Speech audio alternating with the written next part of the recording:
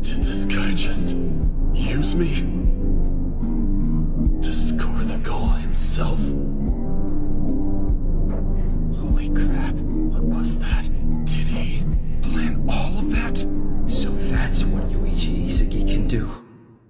And now he's chasing after... This egoist. You brought darkness to this field,